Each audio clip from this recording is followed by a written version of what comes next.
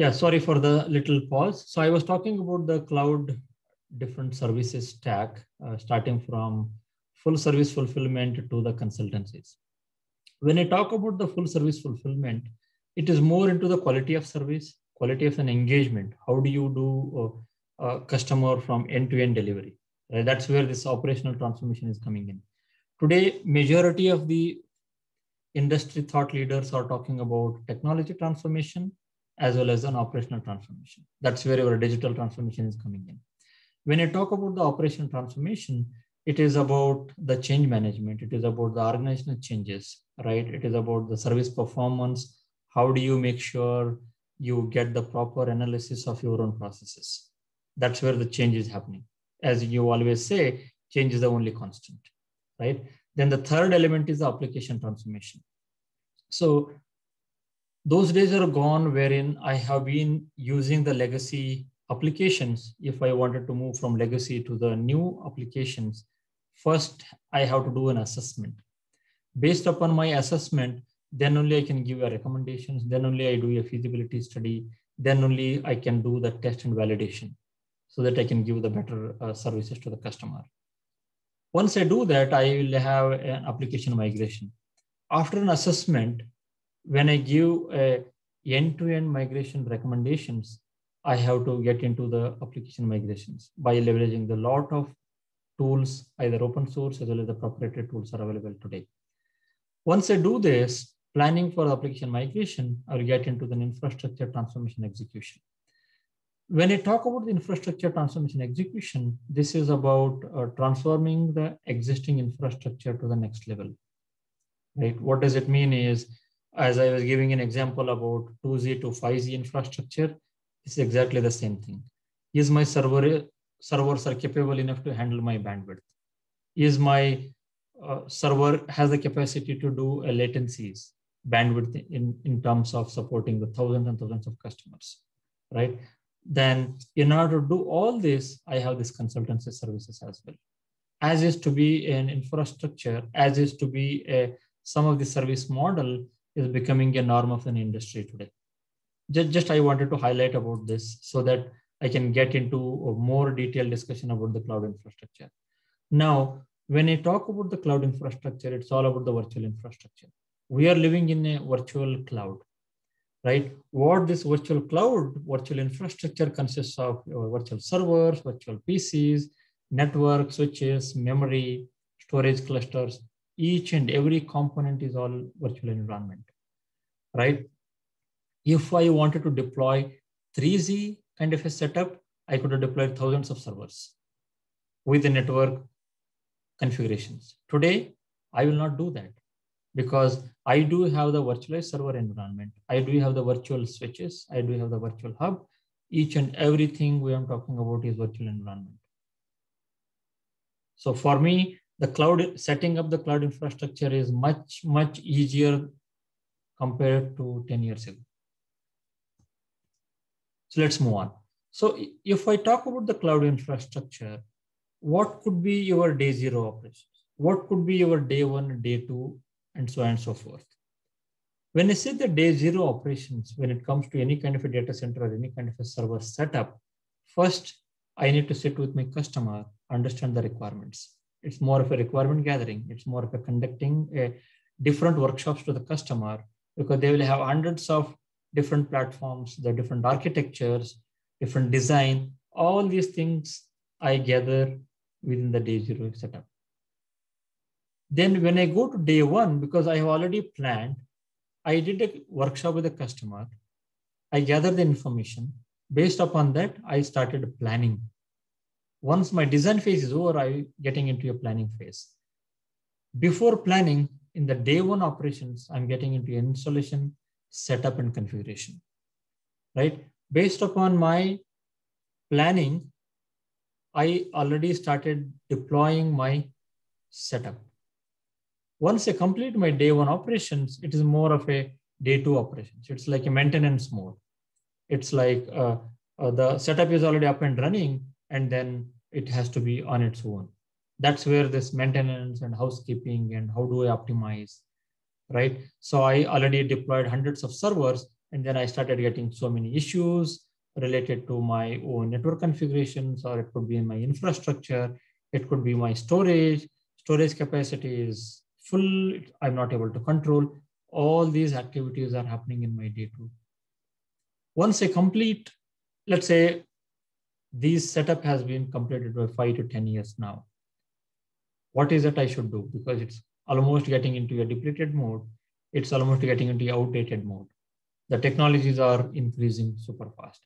That's when I need to clean up and then the delete. It's kind of a recycle process.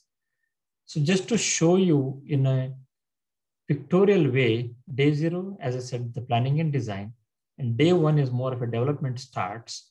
And then when it comes to the day two, as Prakash mentioned in our first session, CI/CD. How do you do your continuous integration? How do you continuous deployment, continuous delivery? Then I can add one more C here. I'll make it as a continuous operations. I can add one more C here, continuous customer service. This is what I wanted to get into a mode of going live with the 24 bar 7 because these are all the mission critical applications are running I don't want to see any level of disruptions. That's why you see here, there is a feedback loop in order to get how do you observe, orient, and decide and act based upon my activities going on here. Any kind of an applications, any kind of an infrastructure, this has to, be, I have to create the new CI CD pipeline because I will end up working with multiple technology partners, multi, multiple system integrators as well. So this is becoming a crucial for these days. One more point I did mention, I will get rid of this CI/CD pipeline altogether. This, that's when I'm talking about the GitOps now. How I'm bringing in the AI ops, artificial intelligence operations. Is the GitOps is capable enough to talk about this CI/CD pipeline? So some of those key aspects which we'll touch base almost at the end of this session. So let me get into the different tools which you are leveraging it. So since Prakash is a veteran here, uh, I would like to talk, uh, request Prakash to talk about some of these tools which you are leveraging for the infrastructure. Prakash, please. Thank you, uh, uh Ganesh. Uh, you are able to hear me, right? I want to yes. confirm that. Yeah, okay. So the tools that are there, uh, when we started earlier, most of the time we used to use shell scripts. Then slowly and steadily it went into tools and Chef was the earliest tool uh, based on Ruby, uh, which was the language then used uh, for automation. Then it moved to Puppet as a lot of people wanted to do uh, in a, a, language which is much easier for them rather than doing in Ruby. And they ended up in bringing in Python and all this. But uh, then again, C, shell script integration, all that Puppet had uh, some uh, good playbooks, they used to call it. Or, uh, that's where the Ansible entered the picture. And Ansible has been one of the strongest players. it, it is still being used and it is, there are public version as well as open version as well as vendor versions uh, like Tower from Red Hat. And Ansible has uh, stuck to the uh, uh, this is also part of the stack. Actually, Salt Stack is the one which is similar to Ansible, and it actually uses the similar uh, concept of minion and agents and all that. These are agent-based and agentless, so there are uh, multiple of them, and those are the ones which are important to absorb. Obviously, then uh, moving on, there are uh, other uh, dashboard management dashboards like thing and Vagrant is usually for virtualization that you use for normally for simulation and trying to test it in your own laptops and all. So that is good for developer. Then the uh, uh, cloud uh, CF engine, uh, that's the cloud formation and AWS uh, is the one which uh, enabled it. And the OpenStack Heat is also similarly based on CF. and then you got um, Packer, that is the one which is uh, used from uh, Packet, uh, who have the working with Dell, they developed that. Then Terraform is the one which is come from what do you call the uh, Hyliion or uh, the one which is used by HP and Google and all those. And Terraform manages, you can do, it's a third party dashboard through which you can even manage OpenStack and everything, including Kubernetes and all. Then your Cloud Init, Cloud Init is the initialization that occurs uh, usually in the uh, bare metal uh, uh, uh implementations where they try to do the uh, init for the booting and operations and all that. So you have got a basically all based on some kind of templates or blueprints they call, they, which runs from the infrastructure template to management template to the install and applications and then deployment and all. So this is all about the tools and this is a wide variety which uh, Ganesh has presented here. I think I should stop here. This is good enough for you. You can uh, do research and uh, probe and see what fits your bill and adopt accordingly. Thank you so much, Prakash. Yes, uh, as Prakash rightly mentioned, majority of these tools are open source in order to create your own templates, in order to build your own blueprints and manage, install, and even the deploy the configurations, definitely you can able to use any of these tools. Not necessarily all the tools, but at least any of those tools which you can explore. Thank you very much. So now, as, as you saw in the previous slide, uh, I just stopped installing and deploying. Once you do your deployment, is there any way I can reduce my activities? Is there any way I can optimize? That's what this automation keyword is coming in. That's when I wanted to provision. Is there any way I can optimize is one. Second is, is there any way I can provision my infrastructure for the better utilization of the resources, right? So automated provisioning is all about the self-service provisioning. We do have one particular tool called the self-service. ServiceNow is one of the great tool which we have. ServiceNow has been integrated and then very well uh, working with the VMware products as well, right? So when I say the service, self-service provisioning, from the automation point of view, you can do the job scheduling, IT process automation, workload automation, or even the managing the file transfer or infrastructure provisioning. So all these activities can be done. But is automation is good enough to take care of all the activities? Not necessarily right? How do you scale? How do you expand? That's where the orchestration is coming in. There are so many products doesn't expose their APIs, right? Once I get an exposed API, I take it and then probably I can orchestrate to develop my own customized products. That's where this DevOps and the Agile teams are coming into a major player in the orchestration world. Now, uh, as we saw the cloud infrastructure, I just wanted to touch base from the service level agreement point of view. When I mentioned the day zero, day one, day two, each and every stage, we have to have the service level agreements. This agreement is typically give you a kind of a measurement, kind of a KPIs, right? If I promise you to give you a support within 30 minutes to 30 days, if I'm not able to do it, definitely there will be a penalty. So that kind of an agreement we're talking about here, right? So some of the best practices, at least from the service provider point of view, they follow. One is about the performance. Second is about the availability. What kind of available resources I have? Can I able to access these different parameters? Second is the data considerations. Is the data, whatever is available is enough? Can I expand my data? Right? Is there any risk and reliability sources? Then the service level failures, application responsiveness, right? If I ping, I should be in a position to get back the response within microseconds or the milliseconds. If I start getting within a minute, that's what the responsiveness is all about. It has to be quick, right? Create a disaster recovery plan. Let's say today I'm presenting to you, I'm talking to you over the this uh, Zoom session, right? If there is a failure in my network, if there is a failure in my uh, bandwidth, do I have any uh, support mechanism where I can switch over immediately and then talk to you without any interruption? That's what this disaster recovery plan I'm talking about. Right? Then what would be my exit plan? You have already set up your infrastructure. You've already maintained. When do you want to exit from this particular uh, agreement? I should have my exit plan. So all these different practices are part of the SLA. I would like to talk about some of the criteria. What are the key criteria to have the effective SLA?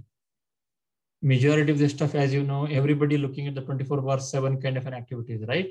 So uptime could be 99.99%. That's what the availability is all about. It has to be weekends, it has to be day and night, right? Performance, maximum response time. Third is the security, privacy of the data.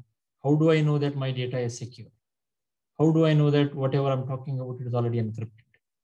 It, it shouldn't be leaked information, right? Fourth is I already spoke about the disaster recovery expectations. What is my expectations, right? And then the location of the data.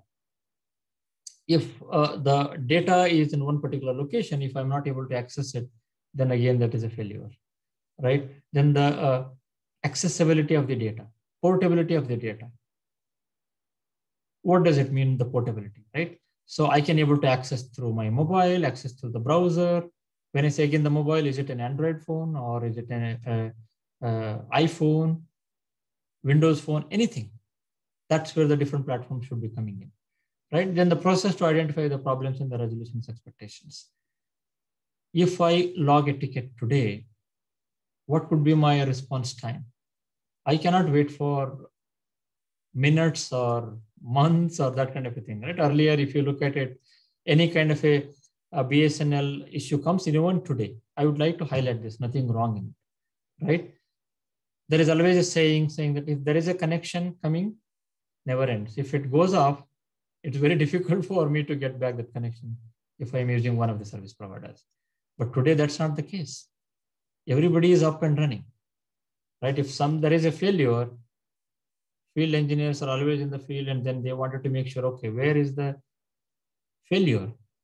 That kind of a monitoring systems are available today, right? In order to do that, what is my change management process? Do I have the change management process in place? Is there any mediation process? Again, the exit strategy. So some of these different criteria which we kind of look into when we create a service level agreements. Now, in the third topic, as I was talking about the DevOps, if you look at it, this is split world, right? One is the development, dev, and then the operations. Development is more into the cloud native architecture in today's world, and operations is I'm getting into an SRE mode, which is a job function, site reliability engineering, right? So let me talk more about this DevOps and then the service reliability engineering. What is this SRE, right? SRE is majorly focusing on previous slides. I was talking about the service level agreements, right? SRE is not just talking about the service level agreement. It has its own service level indicators. It has its own objectives to achieve. End objectives are very important for me to show the performance numbers and the kind of agreements I, I have, how reliable my systems are, right? What could be the performance? All these things are very important to show my efficiency to my customers. That is the, if you look at this, right, primary goal of SRE is to improve performance and bringing the operational efficiency. That's it. If I talk about some of the best practices for SRE, error-free budgets, right? If I allocate 100 million for this particular project, how do you allocate this? At the end of the project, I am held responsible to showcase my finances. Second, define SLOs like an user, service level objectives. Third, monitoring errors and availability. There are different tools are available today. Fourth, efficiently planning capacity. How do you plan the capacity? Because when the peak hour happens, definitely you need to have more servers and then more capacity is required. Right? And then the pay attention to the change management. There is a change management process already there. There are change agents are there. Change agents, no need a human intervention. Change agents are nothing but your bots. Some kind of a script, it is in a position to respond to your need. Then there is no need to uh, blame saying that, okay, this guy has done, that guy has done. No. Let's do the post-mortem analysis. Give back to as a feedback mechanism. So I'm talking about some of these best practices. Let me hear more from the Prakash uh, because he has been involved in the SRE. So what are your thought process, Prakash? so I think you covered the best practices very well. Uh, uh, in reality, if you go into any of these uh, clouds, example, if I take Google Cloud.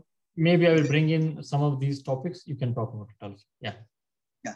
So what happens is, uh, uh, example, uh, in this case, we are talking about remediation and figuring out troubleshooting and what is the, to overcome, what do we need to do. So DevOps tools is one, but even, even DevOps can be automated in the sense that you have GitOps. So what happens is you put down whatever you do, automate it and put it in a, a folder under version control of Git and let the automation scripts pull up from there. So if a alert occurs, it can pull up from there and directly uh, re react to it rather than a human intervention. So essentially, machine automation can be brought in, uh, which is the closed loop control system, we call it. So you will find that we can have uh, remediation based on the failures and detecting the failures or uh, even pre uh, predicting the failures and acting reacting to that same way for the software development lifecycle, uh, we can do uh, zero downtime, which is uh, to make sure that uh, whenever we develop something and if the, in the development process, if some patches uh, get into errors and so we can go back from one version to the previous version. So these are on the spot, they can do fallback so that you don't have any downtime because in deployment, you may have one version running like OpenStack, I'm running, let's say, uh, uh, W version, and then I have to fall back on the uh, Y version, which was uh, which is better, or I have to uh, fall back into Rocky R version because there was something the patch created some issues. So this way you can fall back on the spot without really affecting the other workloads.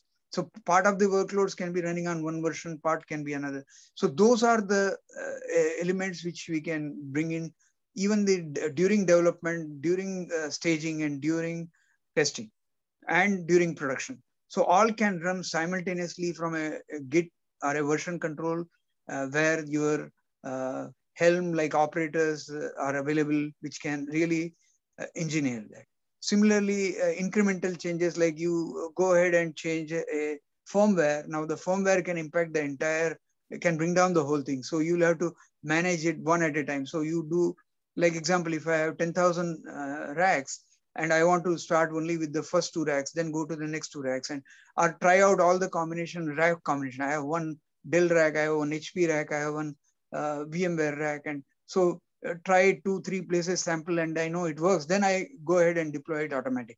So these are some of the incremental changes that we can bring in so that it uh, is able to manage the operation well. At the same time, you measure, as you say, key measurements. We do have to have uh, uh, times for everything because our downtime cannot be tolerated by any of the, uh, uh, especially telco operations. They want everything real time in fact, they get by not meeting the measurement, if we don't measure and if we don't project, you get lawsuits, especially in governments. You are fined because if there is a disaster and your system was supposed to work, it didn't work, and you lose millions and millions. So how do you measure? How do you make sure that your uh, service levels are appropriate? So even from that point of view, telcos are.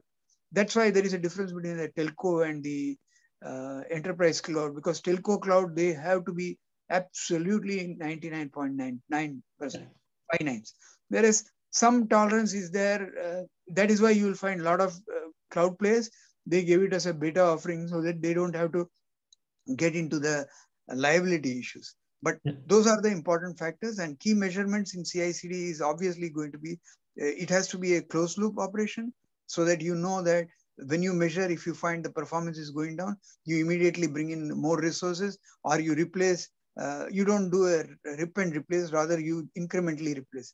That's what the uh, context here is. I hope I have uh, given context to this. Thank you. Thank you so much, Prakash. Yeah, let's move on. So as you heard more into the service reliability engineering and the different DevOps, I, I just wanted to connect you into the Tosca model so as you saw, how do you create the templates? How do you create the uh, blueprints for any kind of a data center setup, any kind of a change model, all of that, right?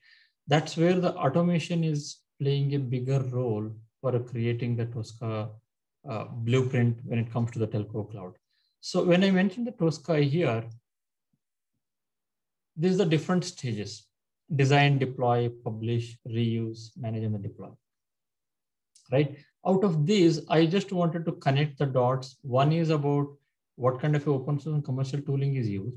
Second is for reusable and composable Tosca service. And third is how do you orchestrate, right? So these three different players, one is about the tooling, second is the service, and the third is orchestration, right? So these different components are coming together and then creating a different, different level of dashboards for cloud providers, for the infrastructure, for the marketplace, for the management tools, and even for the application modeling. So all these things put together, we talk about the Tosca modeling. It's one of the industry best practice which we talk about. So that is, I, just wanted to touch base about this model. It's just kind of a updating to you. If you find time or more, I encourage you to get into understanding about this Tosca model. So, so in next subsequent slides, I just wanted to connect what kind of a different tools and the different uh, platforms are available in, a, in, the open source scenario, be it hardware, Uh, virtualization software as a management, cloud platform, infrastructure as a service, PaaS, right? SaaS models, cloud management, cloud broker platform, all these different tools which you find here. Some places it is open source, some places it is proprietary, but we have an access to majority of these open source components. But in addition to this, I would like to show in the different versions when it comes to open source, right? Look at this open source application servers. Sorry, it's a little blur, but you can able to see it uh, in, in your own slides format. So open source mobile OS, and then you have this different applications are running, open source middleware, the databases, right? Analytics database, even the open source security, right? Software, all these different components which we talk about here, it's all available. There are plenty of tools, plenty of technologies available. It is up to us which one we have to take care, right? In order to do any kind of a projects within your own uh, university, within your own uh, uh, field, you can pick up any of these tools and then start allowing your own uh, students to leverage these tools because these are the wonderful tools and they can start contributing back to the open source community. So that's what my uh, uh, suggestion and the request to all of the uh, teaching fraternity here, right? So last topic which we wanted to cover today is about the GitOps, right? So the GitOps is all about some of the operational framework based out of the DevOps best practices. As we have seen the DevOps best practices, so in addition to the DevOps best practices, we wanted to cover more into the version control. How do you build the collaboration? Is there any new compliances? CI/CD pipeline I talk about. All these put together, we created a kind of an operational framework. Call it as a GitOps in a nutshell. If you look at here, you have this CI/CD pipeline, you have this Git repository, you have these different types of codes. One is infra as a code, config management, application code, all these different source codes are available. Putting into a Git repository, updating in the different version control, and then I run my CI/CD pipeline. So this CI/CD pipeline could be the technology partners, tools, right? It could be my service integrators, whatnot. All these different tasks I started creating as a workflows from the infrastructure automation point of view. Right. So Prakash, any thoughts on the GitOps? We yeah, do have the GitLab, but just wanted to connect yeah, the This is fantastic. So when you say CI CD, it includes a, a, lot of things, as you said. Like example, if I have a uh, let's say let's take some example, industry example. Yeah. So Ericsson has a product for let's say uh, uh, G node or E node for the 5G. Now mm-hmm. they may be developing, but they also have to work with other operators. Example, it could be a backhaul of uh, MPLS, and that could be Cisco. and uh, they may have to work with maybe VMware for the data center. So when you have this kind of a combination, and if the customer happens to be either AT&T or Verizon, just as a sample example for a telco, then for that, these three people have to work together. Now, each one cannot have their own uh, separate, each one can have their own separate CI, but when it comes to deployment, deployment doesn't happen in their place. It happens in the data center or in the uh, network of AT&T or Verizon, example. So then what happens? How do you do the CI? You can do the CI, you can do the staging, but not the delivery deployment, actual deployment. Mm-hmm. So you can do the staging deployment at your place, and this is called third-party CI. So that is where you will find in OpenStack and Kubernetes all, they all support third-party CI because what it means is the customer owns the deployment, but the third parties give the CI. And GitOps is, so they have example in Airship example, there is a treasure map and you have a network cloud, which is what the AT&T uses. Now that network cloud is, so there is something called upstream, downstream. So the up, upstream is what, which is open source, available to everybody. And they can take a downstream, like telcos like AT&T and Verizon can take downstream. They can take from the community what is available, and then they can deploy on top of it, including whatever the uh, artifacts which are given by examples of Ericsson's and the Cisco's. And it may happen that we may do it with KubeOpenStack. Example, mm -hmm. our folks in India are working on KubeOpenStack to manage the OpenStack, cloud native OpenStack. And that's what we are going to hear here Uh, uh, from coming from OTF and coming from the FROS. We are going to see those things being used in government of India. So we are going to go towards GitOps. That's a normal thing. And it's not just GitOps. You can also have MLOps, machine learning operations. Yeah, yeah, you can have similarly AI ops. So yeah, these are various things which we will see as emerging, and we want our faculty and as well as our students to learn about it. I think I'll stop. Thanks. Pretty good, pretty good, Prakash. So this is exactly one of the thought process for further discussions, for their further reading from the teaching faculty, right? So what I put together for your own benefit is put together some kind of a questions related to the cloud infrastructure, day one to operations, what could be the SLA, the topics which you covered. So I kind of put together some questions so that it is good for you to further reading. I have given, uh, in fact, uh, you, you can definitely shoot an email to me if you have any questions.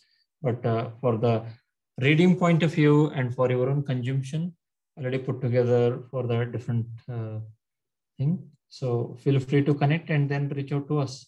But again, uh, just to close, Vipin sir, thank you for giving us an opportunity for talking to this entire teaching fraternity, right? So we would like to take this ahead in terms of uh, connecting the dots. What I mean is, how do you establish a connection between industry and then academia? This is very, very important for all of us, and uh, we are here to help you. So thank you very much again, and then looking forward to it. Thanks. Thanks. any closing thoughts? No, thanks for the Actually, you made it very, very structured, and I'm happy uh, that people will be able to uh, understand what uh, started in session one. You have closed a, a, very good closing on session two. Let's hope that they will be able to absorb and use the Q&A and opportunity to get back to us, and uh, we move from here. Thank you very much. Thank you so much. Bye-bye.